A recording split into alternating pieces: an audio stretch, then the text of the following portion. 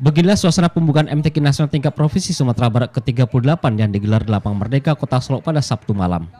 Para peserta MTQ akan mempertandingkan beberapa cabang di antaranya tilawah, kiraat Al-Quran, tahfiz, tafsir, tartil, dan kasidah.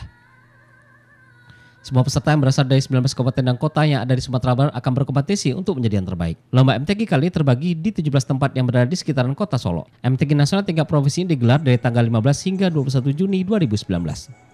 Dalam pembukaan turut menampilkan sekitar 150 orang penari kolosar yang berasal dari siswa dan siswi SMA Sekota Solo serta mahasiswa dan mahasiswi Institut Seni Indonesia Padang Panjang yang memukau ribuan mata pengunjung dan peserta MTQ di lapangan Merdeka Kota Solo. Pembukaan ditandai dengan pemukulan buduk oleh Dirjen Bina Islam Kementerian Agama Republik Indonesia, Wakil Gubernur Sumatera Barat serta Wali Kota dan jajaran Pemkap Solo. Pembukaan MTQ nasional ini pun berlangsung secara meriah dan ditutup dengan perayaan pesta kembang api.